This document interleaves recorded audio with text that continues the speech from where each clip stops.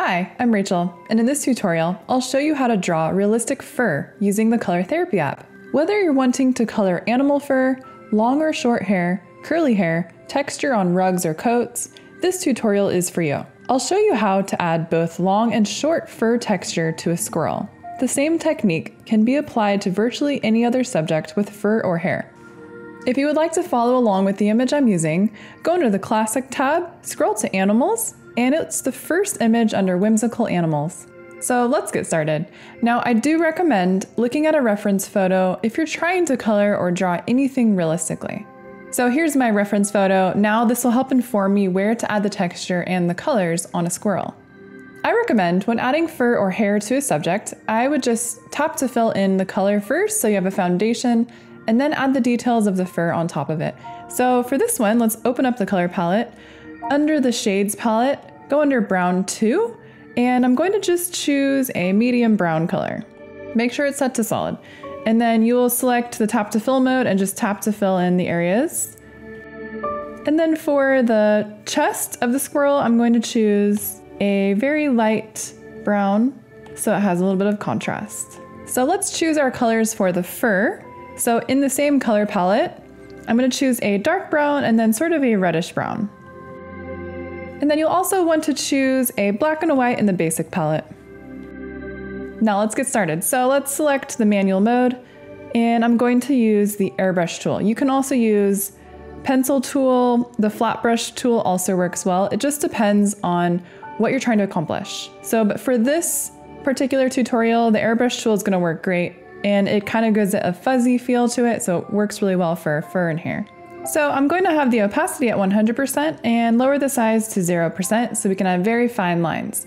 Now zooming in to the middle of the squirrel here, um, as you can see, there's already some lines on the squirrel and they're actually great to guide us, to show us how the fur on the squirrel is going to move.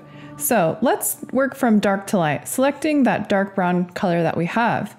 We're going to just begin hatching lines going the direction of those black guiding lines. So you can see kind of how they curve around the back of the squirrel there. So just kind of go ahead and start adding in those lines.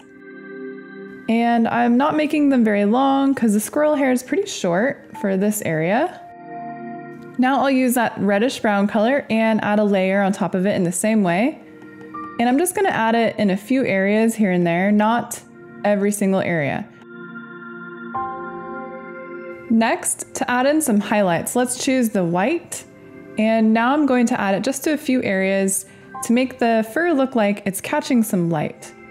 And I'll also do that where there's a curve in the subject. So just along the back here and then where the neck is right here. And I'm making sure to curve those lines a little bit. So I'm curving with the shape of the object. Now as you go, I recommend going into the effects tab and removing the lines and now you can see much better what you're doing.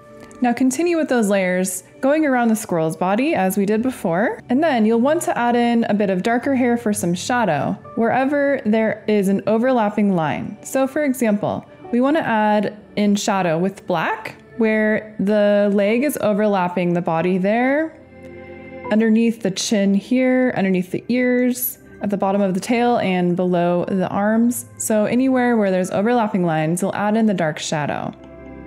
And just continue in that way, filling in the fur, just going one section at a time for the rest of the squirrel's body.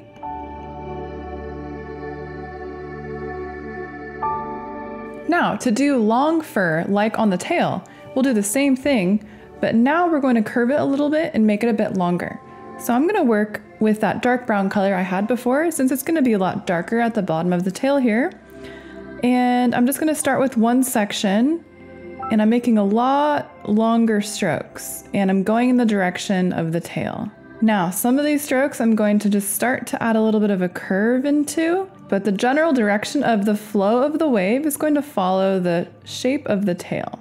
And you kind of wanna just continue that all the way up to the end of the tail.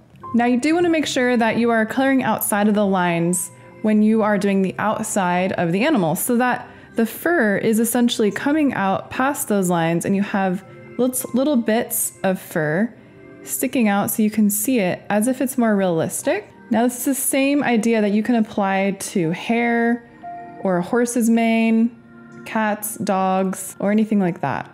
Then when you go to add in the highlights, you can either use a light brown or a white, and we'll do the same thing, just adding on a layer in a curved manner. And we're going to sort of curve it just in a few areas here and there. So we're trying to make it have a big bushy tail. And I'll use that lighter brown color that we used for the belly just to add in a bit more and extend it beyond the lines of the image. So you want to concentrate those highlights sort of in one line at a time. So for example, I'll have some highlights there and then I'll have highlights kind of down here. So I'll kind of skip a section of the brown fur and that will create the illusion of shine. So that's it, just continue in that same manner for the rest of the drawing.